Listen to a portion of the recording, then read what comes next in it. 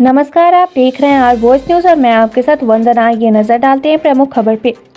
पश्चिम बंगाल के जलपाईगुड़ी ज़िले में एक घायल पक्षी अचानक सब्ज़ी विक्रेता के वैन में आ गिरा। सब्ज़ी विक्रेता मंटू मोहम्मद ने तत्काल पक्षी को वहाँ से उठाया और उसका इलाज शुरू कर दिया। बता दें कि घायल पक्षी को पानी पिलाया और फिर उसे बेहद सावधानी पूर्वक अपने वैन में आराम करने के लिए छोड़ दिया। कुछ देर बाद घायल पक्षी को होश आया तो वह स्वाभाविक रूप में लौट आया।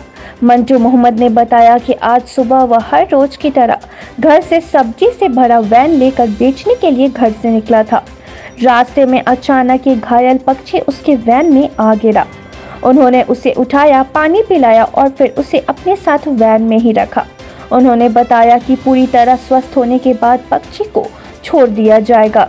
जलपाईगुड़ी शहर के समाजपाड़ा इलाके के रहने वाले सब्जी विक्रेता मंटू मोहम्मद की इस पहल का चारों ओर प्रशंसा हो रहा है দেখে যাতে কেমন আছে একটু রেস্ট নিক রেস্ট নিলেই হয়ে যায় শক্তি হবে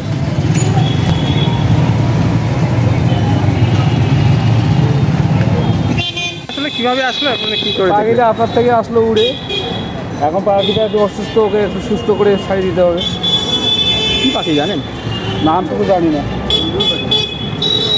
মানে করবেন কি এখন পাখিটাকে? পাখিটা একটু সুস্থ করে চলে যাবে আপনার থেকে চলে যাবে। মানে এই ধরনের কাজ কি আগে করেছেন আপনি? হ্যাঁ করছি। আমি পশু পাখি খুব ভালোবাসি। গরু ছাগল সব জিনিসকে আমি এখন কোথায় নিয়ে যাবেন? এখন ওখানে থাকবে সুস্থ হলে আপনার থেকে চলে যাবে। মানে বাড়িতে রাখবেন কি আজকে? না। যদি সুস্থ না হয় আজকে? তো না হলে হলে তো যে কোনো জায়গাটা জঙ্গলে ছাড়িয়ে দিতে হবে। আপনার নাম দাদা? মন্টু মোহাম্মদ।